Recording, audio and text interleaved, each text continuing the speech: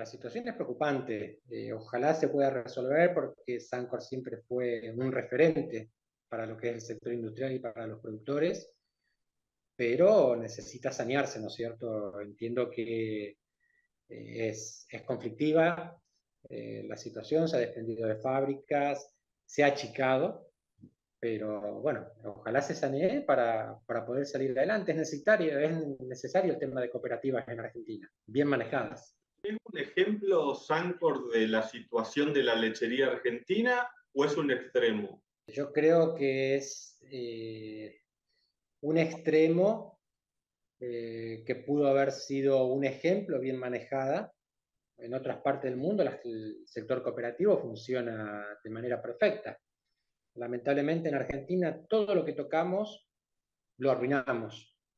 Eh, es una lástima porque hemos dejado pasar miles de oportunidades y no sé si vamos a tener más oportunidades para, para desaprovecharlo.